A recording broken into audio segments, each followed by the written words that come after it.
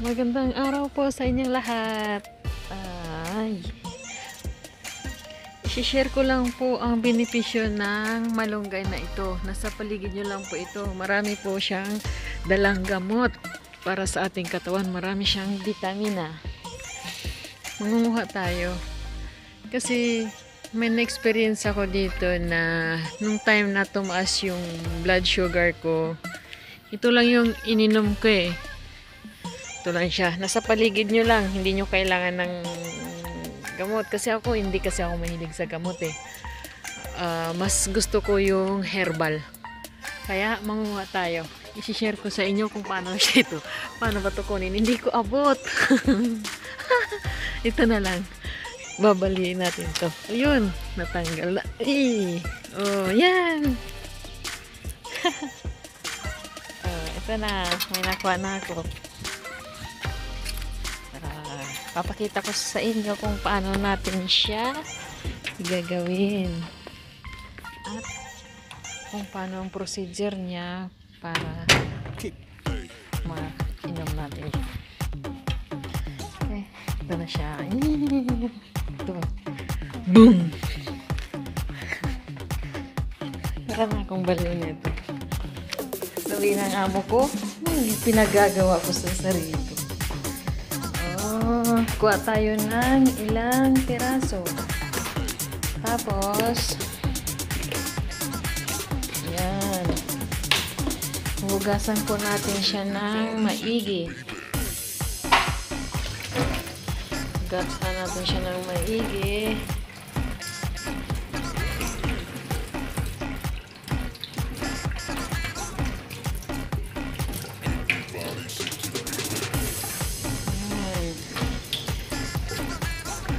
Ito.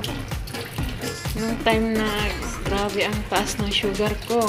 Bata pa ako ah. Pero may mataas na yung sugar ko.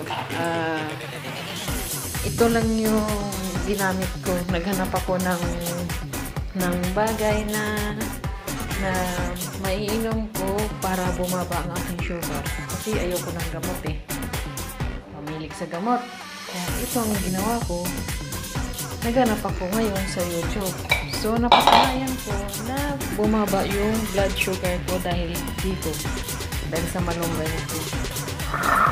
So, gawin natin. Ah, tatanggalin natin siya dito.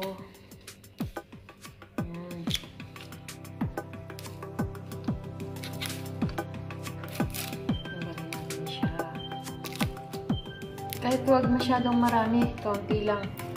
Kasi mapait rin siya eh. Yan, okay na yan. Oh, ayan siya. Okay na yan. Tapos, magalitan natin siya.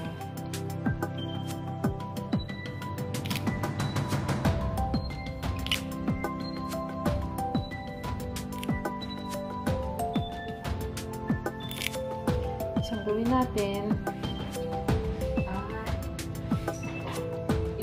natin siya ngayon.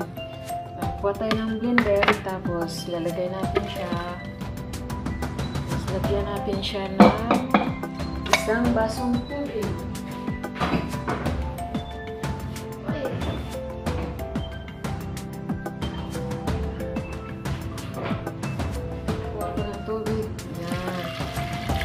Tapos ngayon, i-blend natin siya.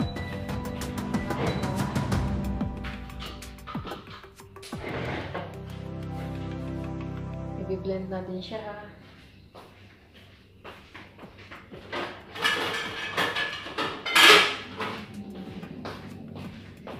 Ngayon, i-blend natin siya. Okay? Yan. I-blend natin siya. Yan na siya. Blend na siya.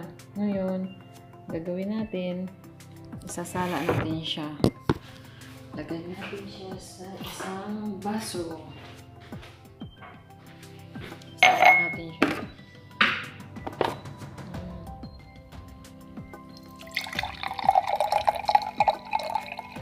Hindi siya masyadong na-blend kasi mabilisan lang ito.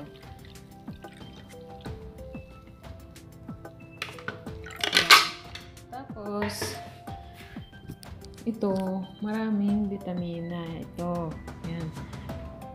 Marami siyang dala.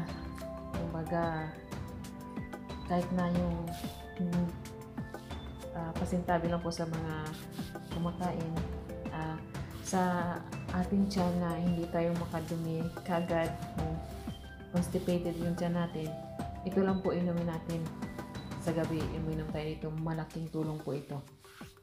Subukan na po ito. Talagang effective siya.